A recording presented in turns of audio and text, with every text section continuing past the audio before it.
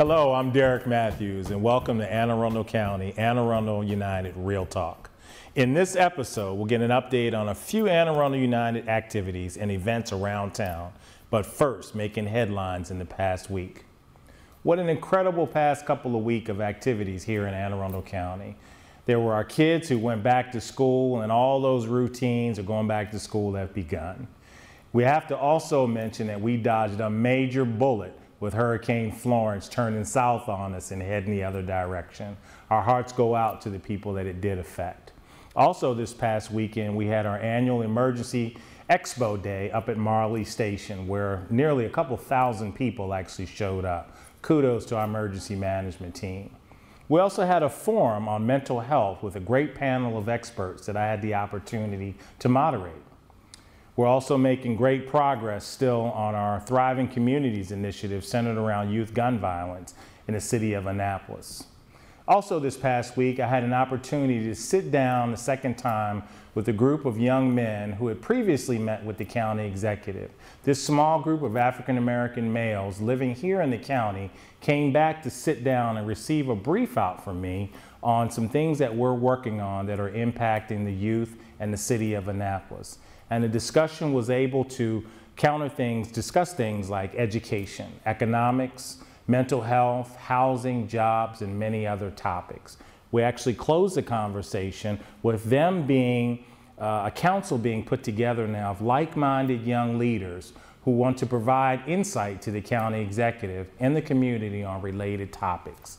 They have all now walked out of that room and each one took on a uh, basically a leadership role on driving some projects that will let them be in the driver's seat to see how things start and how we can drive things to a finish. I'm also excited to be one of the new students in our Leadership Anne Arundel program for the flagship class of 2019.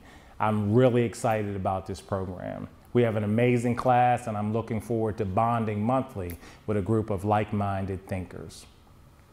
We're going to take a quick break, but when we return, I'm going to be here with Dr. Deidra Dennie, the diversity officer, chief diversity officer at Anne Arundel Community College.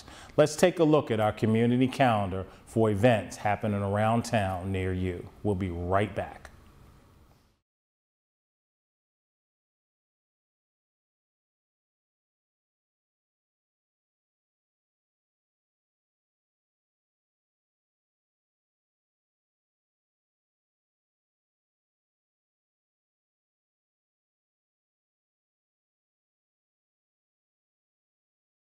Today I'm going to talk to you about physics. Come on in, girls. Let's go. This is the first rocket to get humans to Mars. Really tall. I'm a rocket structural engineer designing and building parts of the rocket. You are the generation that will be stepping foot on Mars. Do I have a group of astronauts on my hands? Yes. You can become a rocket scientist or whatever else you want to be.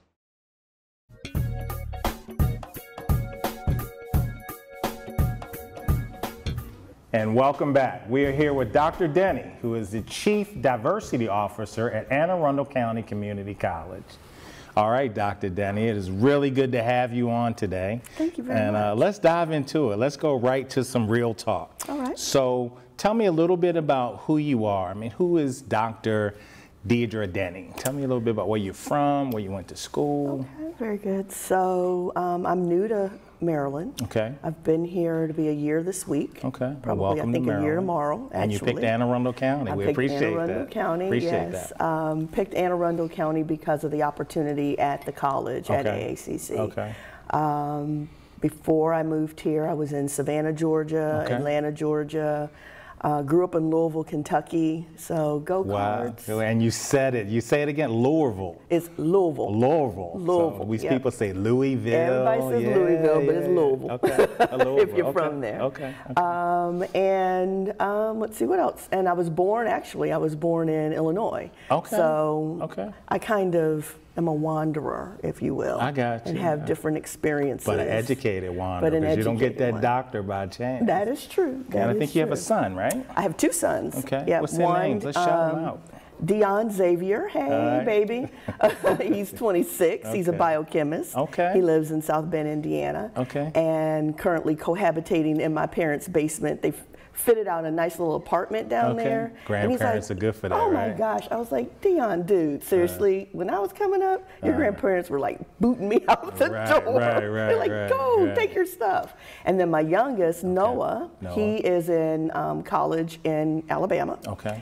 And he is getting married in November. Woo Okay. woo, hey Outs- Taylor. That's going to be my new daughter-in-law. Okay. I'm excited. Okay, sounds and, good, Yep. sounds so good. hopefully he'll be graduated. I think he told me in December. Okay. So you know, you always have one that's very driven and one that takes the Don't road I- less traveled. I got you. I have that. I got you, Yeah, I but they're you. great kids. So I know you got a couple of hobbies that I just love. You want to share one of them? So, um, way, way, way back, so Uh-huh. when I was probably in about fifth or sixth grade, Okay. my parents decided that my brother and I needed to leave the house for the summer because, you know, we were heathens.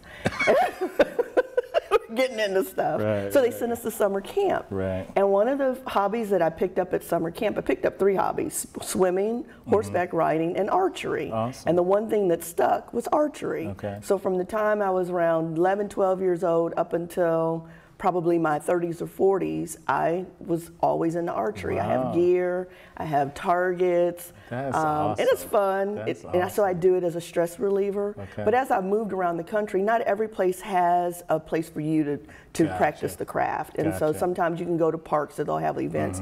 But it's a weapon, so you have to be careful about Absolutely. where you shoot and, Absolutely, and you know, if you miss your target, where's your arrow going and how far it's going to go. is paramount. It's sa- for safety. Sure, for sure. And so um, then I started having some shoulder issues with pulling back the bow Mm-hmm. and the string. And so I thought, hmm, what else could I do with this talent? and I took up small arms. Okay. And so currently I own a few weapons. Okay, Um, I have to get them registered and all that in, in Maryland, of course, okay. because I have a concealed carry permit, but Maryland is doesn't is not a reciprocity That's state. true. That's true. And That's so, true. you know, I'm going true. through that process now. Okay. But um, there's, you know, places that I can go Absolutely, and, and target practice indoor. I'm not into hunting. I like the fact that my Okay. meat comes in a nice little styrofoam tray with plastic around it, Okay. and it says 85, you know, 15, I chuck whatever. you. I like that. I got you. I Um, got steak you. and what have you. I'm I not looking you. to hunt Yeah, anything. I'm not looking to dress any meat. I so, and then my other hobby that is less violent is I like to read and I like to shop. So. Mm-hmm. Okay. Um, I have I a general. know, shop, shop. Oh my gosh. Shopping can be up between those two, Yeah. but that's another show. I have a general rule, and, and my boss Dawn Lindsay will tell you when it comes time to go to conferences, I want to know where they are, and I immediately scope out how far is the mall from the conference. That's important. Because to me, it's critical. Because right. if it's too far and I got to Right. pay a bunch of Uber or taxi money, I'm not going to It's the conference. I hear you. I hear you. All right, so awesome. So, as the chief diversity officer, Mm-hmm. tell tell the folks what that means. I think folks see they hear the word diversity and inclusion and these words that we're toying around with. But what is what you do as a chief diversity officer? What's that look like every day? Okay. So um, let me just start off by saying that doing diversity work or being a chief diversity officer is different everywhere you go. Okay. So this is not my first time being a diversity officer. Okay. Um, part of the work is one that you have to love people and you have to love process and you have to be a strategic thinker. Mm. Okay. Because people want to hear the word diversity and think black, white, That's and right. that you're dealing with just race matters. That's right. And that's not all that we do. Right. It's a topic of interest or concern, but it is not the depth and breadth of the work that we do. Okay. We're really cultural architects, and so we look at I what's like yeah, we I look at what's that. going on in our community, what's going on in the larger world, what is going on Mm-hmm. in the college, and try to be strategic about services, resources, Okay. opportunities. Where do we recruit? How do we retain students? How do we recruit and retain faculty and staff? Um, are we putting our money where we s where our mouth is on some of our processes and Mm-hmm. right, projects right. and initiatives? and so it's kind of overarching. Okay. Um, I report directly to the president, um, Dawn Lindsay. She's a lovely person. She's awesome. Yeah, She- she- kudos to her and what she does every day. Yeah, and she allows me to have um, autonomy in some of the things that I do, but also a listening ear and a place that I can go back and kind of do a check Okay. and say, you know, my head is telling me this, but my gut feels like this, Okay. and someone to talk to. And she's been at the college a while, Okay. Mm-hmm. so she knows the ins and outs and the folks. We are serious at AACC about diversity. It is part of our um, values, mm-hmm. diversity and inclusion. It is part of our mission. It mm-hmm. is part of our strategic plan. Awesome. So it's not a word that we use just to sprinkle because it's the, the word of the day or right, the catchphrase. right. We truly mean what are people bringing to the table? What do we need to be aware of? Awesome. We're covering um, disability. We're covering English as a second language. Okay. We're covering people that are on the spectrum. Okay. Religion, we have to be respectful of. You know, when we're having meetings, you don't want to have a meeting during Ramadan where people are bringing in Sure, food because sure. that's disrespectful. Sure, you don't want to have meetings or um, situations that we're meeting during the Jewish high holidays Okay. because that's a whole segment of society that we're cutting out from Okay. having an opportunity. And this crossed the line, not to cut you, I just No, want to jump good. in. This crosses the line of staff as well into the student It's life everyone. as well. Yeah, so it's it's it's when we're when you're talking and doing what you do, it's the campus. It's is the, the campus. As a whole. Okay, Yes. okay. You know, programs and initiatives for faculty, staff, and students. Sure. Right now, in our current cli- um, political climate, civility seems to be Yeah. top of mind for people. Okay. And one of the things that we try to do, or that I try to do at the college, is you know keep a civil mind, keep a civil tongue, but help people navigate what's going on, Mm-hmm. Okay. wayfind and understand. Okay. So uh, we're going to keep this going. Yep. This is perfect. So, what can the community do better to let young people, what really not even young people, people wanting to go to college, wanting to further their education, what can we do better as a community? And where I'm really going with that, there used to be a stigmatism where somebody would graduate and they would say, Oh, I'm going to community college. And it almost sounded like, Oh, you just going to community college. Mm-hmm. But our community college ranks like Yep, we're the top three. top top 3 in the mm-hmm. country, right? Mm-hmm. So, what are some things as a community we can do better to get that word out to our age as well as young people that the college is there and open for business? Um, a number of things come to mind. Number one, if I am a high school student, Okay. dual college enrollment so that you can take some of your college credits at a very, very reduced, almost free, not quite, Mm. but close, free, and get those college credits behind you that will transfer into a college that you want to go to. Okay. So you get that behind you. Okay. So from a college student, I mean, from a high school student's perspective, you need to look at the dual dual credit as, Mm-hmm. Okay. as an opportunity Okay. because you're taking college classes, Sure, but you sure. get the high school credit and the college credit. As a parent, um, recognizing the value that a community college offers, and I do mean value as in dollars, Okay. we're far more um, reasonable, reasonably priced Okay. and less expensive than four years at all. Um, and there's an opportunity where you can come in and get the first two years of college, or even three years in some cases, under your belt, and then transfer over to the University of Maryland or Sure, Baltimore's or wherever you're going. Bowie State. The Bowie I'm State, just Morgan, saying. Coppin, yep, all of those. There's, Right. that, there's that opportunity. We have transfer articulation Right. agreements. But from you know from a financial standpoint, Mm-hmm. I've got two kids that have gone through. One that's still in college and one that's out. You know, and I look at student loans and you know how much money they're going to be in debt, how much money I'm in Mm. debt trying to help them. Mm. You know, I'm like you know how you stand in the gap. Well, Oh, yeah. financially, parents end up standing in the Yeah, gap. yeah, So there's a monetary value to a community college. Okay. And then to the community, oh, and, you know, just everyone, we offer programs Okay. from, we have a child development center, so you need some place to, for daycare for your kids. Really? So you know, you're almost talking not quite zero, but close to zero to 90 that we educate in the community. We have Wow. programs for Awesome. Everyone. Everybody. Yeah. Okay. What is it that you want to do? What is it that you think you want to do? Okay. Our certification programs and to get certi- certificates Mm-hmm. for various and sundry different um, opportunities that are workforce development type. Mm-hmm. We have we run the gamut. I, I think today I was at a meeting and we have like 245 different programs. Awesome. And Okay. so there's Okay. something for everyone. everybody. Um, what if you wanted to learn how to bake a cake? We've got that. Sure, You want to learn how to, you know, change a tire on a car? We've We got, got that. that, You need an English degree? We got, Got that. that. Okay. so that's a good segue. So you use the word um, your strategic plan, and you all sound like you're long-term thinkers. Mm-hmm. Yes. So what are some things that the college might be doing in the community that the people that we're talking about maybe can attach themselves to to get better educated on the college? Are there any activities? Oh, let's see where to stop. It's, it's almost just- easier just for you few. to tell, tell Yeah. you what we're not doing because we're okay, doing so okay. much. Um, our foundation is really making inroads with donors and folks that want to be part of the college, maybe leave a legacy of some sort. Mm-hmm. So sure. there's opportunity there. Okay. Scholarships come out of our foundation. We have students just like any other college or university that you would come across that students have needs, but we Mm-hmm. also have students that are just rocking it out on GPA, and we'd like to reward them for that Mm-hmm. Sure, because they're sure, keeping their sure. GPAs up. So scholarship opportunities, you could have one named after yourself. We could do the Derek Matthews, you know, public service. you Okay. know, We'll talk about that off- off the Yeah, set. yeah, Okay. yeah. Um, we are in community doing um, so many things. Just this past weekend, we were at the Kunta Kinte Festival, Okay. so we support a lot of the Awesome, festivals and opportunities that are in the in the county.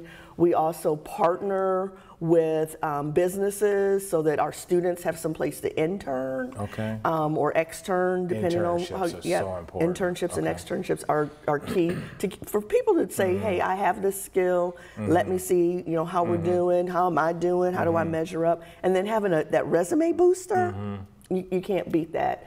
What else are we doing? Oh my gosh, we sit on a lot of different boards. Okay. We have a wonderful board of trustees that really lets the college kind of flex and fly where it needs Okay, to. okay. Um, our programs, you can't beat the, the programs that we offer. Okay. Our faculty and staff. So we have a, a unique opportunity where if you are a faculty or staff member at the college and you have a master's degree, Mm-hmm. we have a program. It's called. It's kind of like a freshman orientation program. Mm-hmm. It's called ACA 100. You can teach in that program. Wow. Yeah, you you can't teach it during your work hours, so you can teach it, you know, before or after. Okay. But it's an opportunity to really touch students and meet them where they are when awesome. they come into the college. So opportunities just abound. We have faculty and staff that um, go into the high schools. Um, Mm-hmm. Meade is coming to mind, where our cybersecurity and, and um, pardon me, criminal justice faculty go in Mm-hmm. Okay. and work with those students to get into the programs. Okay, awesome. Okay. All right, so y'all are busy. So We're very busy. So we'll direct them to the to the site, to the college site afterwards after the show. Okay, go ahead, say it again. aacc.edu. EDU. Okay. All right. Sounds good. So I got to ask you this. So as a uh, as a black woman, mm-hmm. and you have done well for yourself, both in your profession, education. You've raised two incredible children. What are some things that you did for some of the viewers that maybe want to strive to be you? Mm-hmm. What are some things that you stayed focused on that kept you kept you where you needed to be to where you are now? You know, Some- that's a really pointers. good question. Mm-hmm. So, I'm not necessarily a follower. Mm. So, that was key for me for a number of reasons. Um, I have knucklehead friends, if you can call it that, and I would watch them do things. And some other people that I was aware of, and I'm thinking, mm, that's not a road for me. So, I was always looking for other opportunities. Okay. I have to admit, when I was younger, I was always looking for the easy way. Okay. You know, how do I do this Sure. and do it easier Sure. and not make life difficult for myself? And by doing that, I kind of you know blazed my own trails in mm-hmm. some some mm-hmm. degree because I did something different than everyone else mm-hmm. was doing. Um, stayed focused on the fact that I did not want to. Um, be a burden to my parents, a burden mm. to if I was going to get married, have kids, to my kids. Okay. So how did I make my own? And I, my husband will tell you, there's only one boss to Deidra, and it's Deidra. And So in order to stay my own boss, you know, I had to do some things. I had to go to school, and I, I don't necessarily recommend what I've done um, to get education, but. I got my I graduated from high school, immediately went to college. I knew that going straight from high school to college was a bad idea, but everybody else was doing it. Mm-hmm. And I thought, okay, let me do this too. And I struggled. I got put out my freshman year. After freshman year, they're like, thank you, but Mm-hmm. uh, we'll see you another day. when you get yourself together. Okay, And I had to sit out, and Okay. that for me was embarrassing. And I, you know, and I didn't want to tell my parents, so I was one of those people that got up, Okay. went to work. So I changed my work schedule, so I worked during the day. My parents didn't know I was kicked out.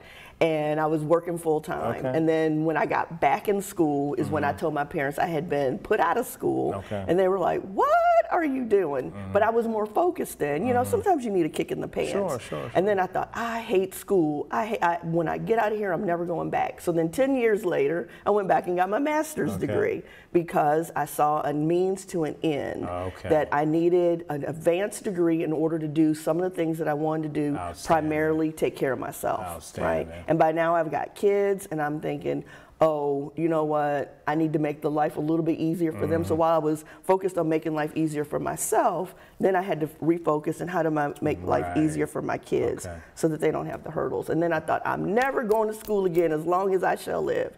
10 years later, I went back and got my doctorate. Wow. So I'm not saying that you should be on the 30 year plan, Okay. but you got to have a goal. You got to Okay. be focused. And I think that was, was what was key for me. Okay. That every so often I would look at my life and say, where's your goal? What's your focus? And how are you going to get there? Okay. And I would do that. All right. So, well, listen, that was a lot, and I, I'm gonna have to get. No, that's okay. no, that was good. Um, and this is why I wanted you here today, because I wanted folks to hear what our great community college did, and to be ranked top three in the country. I mean, that's that's a lot. You guys got a lot of work going on up there, and I just want to say, continue to do what you're doing. Um, we're just about out of time, so I'm gonna have to get you to come back. Sure. Um, and we are actually classmates now. We are. In our are. leadership, Anne Arundel. That's right. Uh, flagship 2019. So we'll be the best class ever, right? We are already. All right, Because so you and I are in it. absolutely, absolutely. So stay with us. We'll be right back with more real talk. I already knew that I was gonna go to college, you know, from a young age. I definitely want to major in political science. After that, I'm gonna get my law degree. Then I'm gonna come back to Detroit, boost the economy, become the mayor or something, try to make the situation better for other people. I feel like I owe it to the city. I'm determined. It's it, it's gonna happen. My name is Justin, and I am your dividend.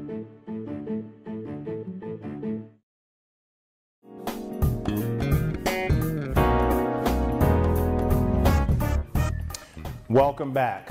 I also want to give a shout out to the planning team of the Kunta Kinte Festival. What another success this year as the festival not only had an incredible outpouring of, of guests and, and, and seekers willing to find out how, what this festival is really like, but the weather stood steadfast and they had a great day.